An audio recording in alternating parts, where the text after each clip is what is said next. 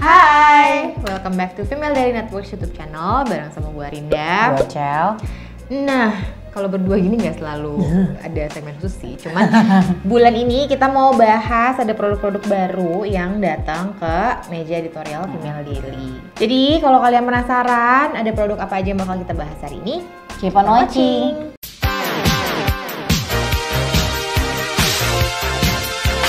Oke, untuk produk pertama ini datang dari sebuah brand yang udah udah masuk sih ke Indonesia. Ini namanya Dr. Bronner's. Jadi Dr. Bronner's ini adalah sebuah brand nomor satu di Amerika. Dia itu fokusnya untuk produk-produk sabun gitu. Jadi ini gue dikasihnya kecil-kecil karena kemarin kan gue trip ke sana. Jadi nggak mungkin dikasih yang segede gajah. Jadi inilah produk-produknya. Banyak gitu. ya. Banyak, banyak banget. Jadi dia ini tuh brandnya udah lama banget dan ini brand family gitu loh. Jadi emang yang ngurusin tuh adalah keturunan-keturunannya dia. Nah, jadi pertama mereka tuh punyanya si liquid soap ini. Jadi dia pure castile soap. Cuman ini ada beberapa varian mereka menggunakan essential oils yang berbeda-beda. Terus selain mereka punya liquid soap, mereka juga punya bar soap. Banyak banget sih sekarang jadinya variannya gitu. Ini ada bar soapnya. Warna-warnanya ini tuh mengikuti dengan wangi-wangi essential oilnya. Terus ini selain ada sabun batang, ada sabun cair, mereka juga punya hand sanitizer sekarang. Terus mereka juga punya odol. Terus ini ada kayak balmnya gitu. Terus ini yang saset-sasetan adalah sampel-sampelnya mereka. Jadi ada yang sabun juga. Sama kalau yang ini, ini adalah sugar soap. Jadi scrubnya mereka tapi menggunakan gula, Gula. gitu. Sama ada satu lagi ini ada lip balm juga. Nah jadi yang unik dari brand ini adalah mereka menggunakan semua produknya itu 100% organik sama natural gitu. Jadi mereka nggak menggunakan bahan-bahan yang chemical banget gitu loh. Mereka juga apa ya brandnya itu menurut gua unik gitu.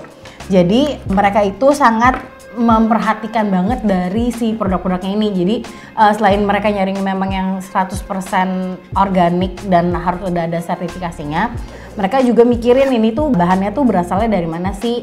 Uh, pokoknya tuh mereka harus yang fair trade. Jadi yang memang mereka mikirin gimana si pensuplai bahan mentahnya ini tuh beneran dijaga gitu loh mereka dari segi kualitas hidupnya, emang uh, produknya tuh kasih fee-nya tuh sesuai dengan produk yang mereka kasih juga.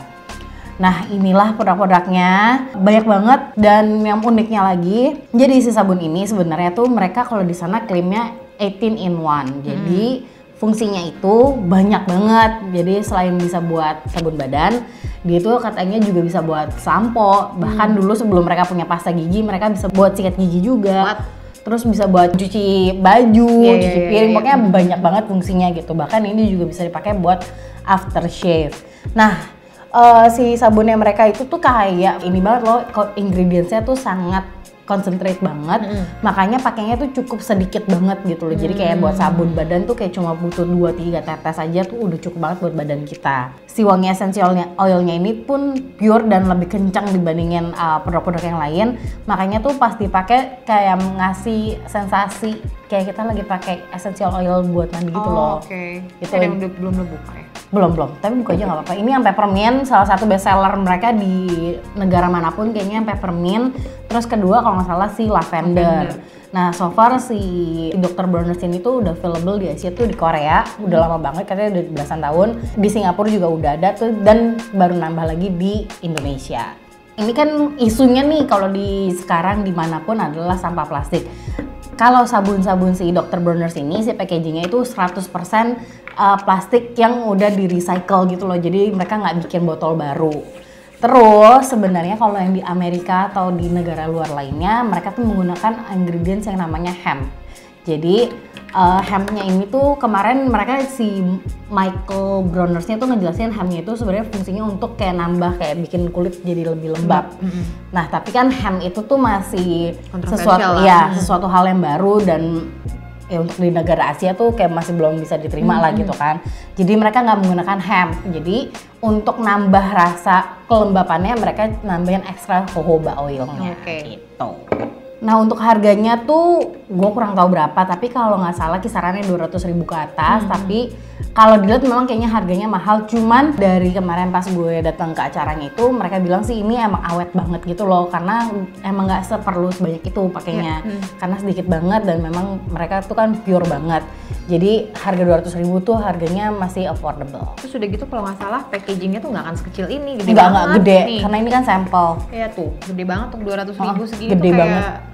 Mereka Sangat tuh uh, uh, mereka tuh punya beberapa ukuran jadi ada yang kayak medium yang regular kayak botol sampo biasa mungkin yang 250 mili Mhm. terus ada yang lebih gede lagi yang 500 mungkin terus ada juga kalau yang di sana sih ada yang literan yang bentuknya Iya, jug iya, gitu iya, loh iya. Nah ini kan kalau di sini di gambarnya tuh ada 8 nih. Mm-mm. Ini masuk semua gak sih? Nah, ini Kan tuh ada ada ada beberapa yang nggak masuk setahu gue. Eucalyptus tuh kayaknya nggak masuk. Gue lupa deh, pokoknya ada beberapa yang emang yang nggak masuk ke Indonesia, yang emang itu Oh, eksklusif. Atau emang ada beberapa wangi yang mereka masukin khusus di Indo eh, buat Asia market Mhm. doang gitu. Soalnya juga ada yang menarik nih kalau em, buat ibu-ibu yang punya bayi nih gitu ada Nah yang itu kalau salah masuk tuh. kayak ada yang baby unscented Hmm, pure iya. castle soap. Jadi kayak nyaman buat cuci Iya. baju bayi juga. Mm-mm. Oke, next ada um, makeup baru. Nah, ini um, bacanya Wicked, bukan WCKD.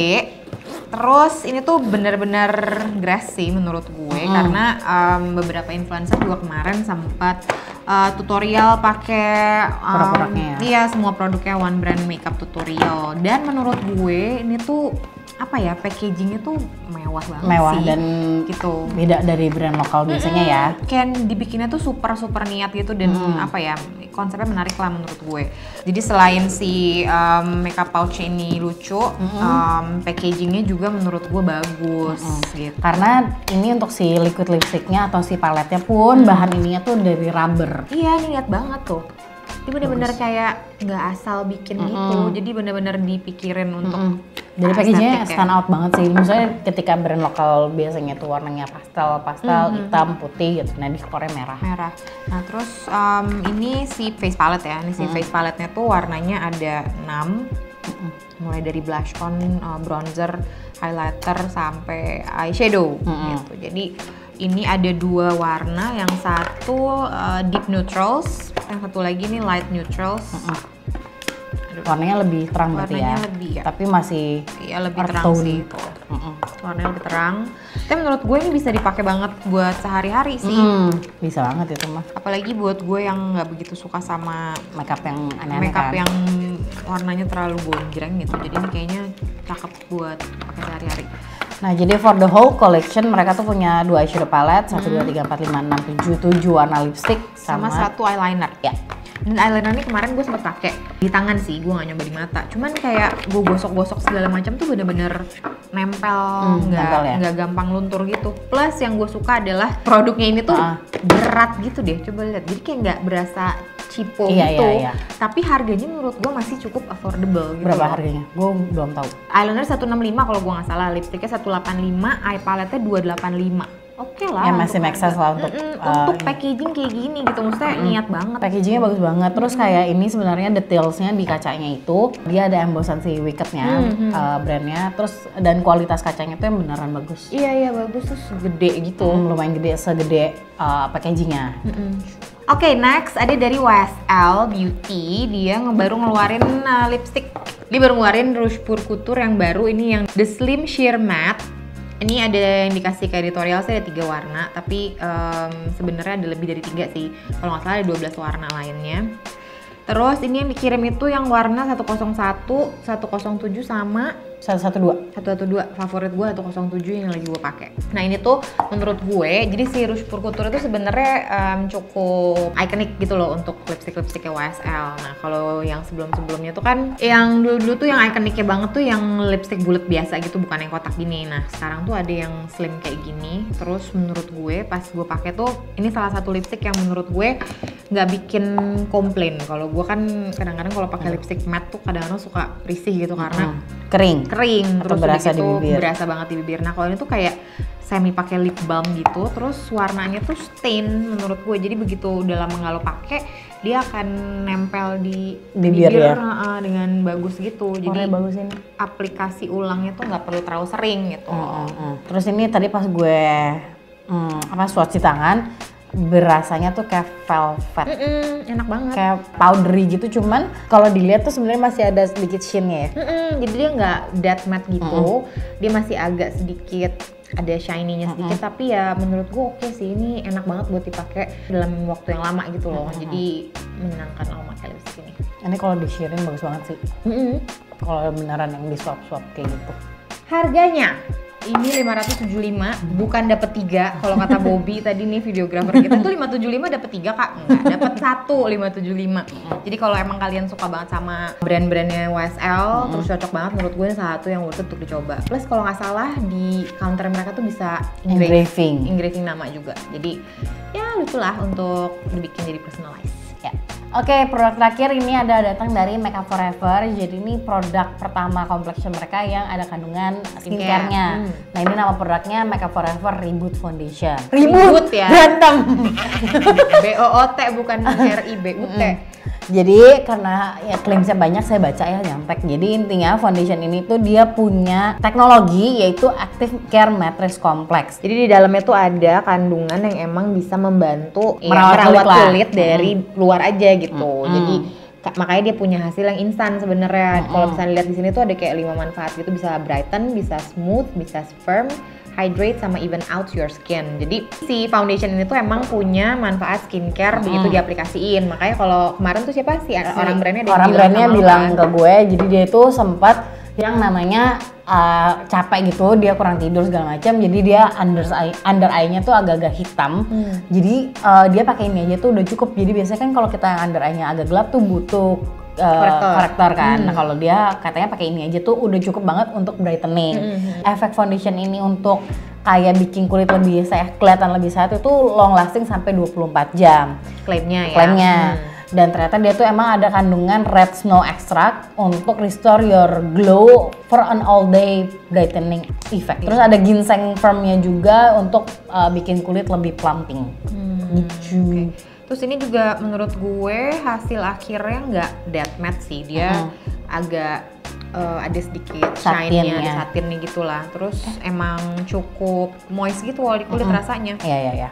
Dan dia emang dari segi coveragenya memang klaimnya adalah light to medium tapi bisa di Buildable. buildable untuk coverage yang lebih. Karena dia hasil akhirnya itu satin, jadi emang lebih cocok dipakai untuk yang kulitnya normal to dry. Kalau yang kulitnya berminyak banget, mungkin butuh dibantu dengan menggunakan primer yang mattifying atau pakai bedaknya yang lebih tebal lagi. Nah untuk harganya itu adalah 710.000 untuk satu botol. Eh, warnanya juga lengkap banget dan si foundation ini kan emang banyak banget range-nya. Nah untuk undertone foundation ini cuma ada dua yaitu red dan yellow dan dia totalnya ada 12 warna.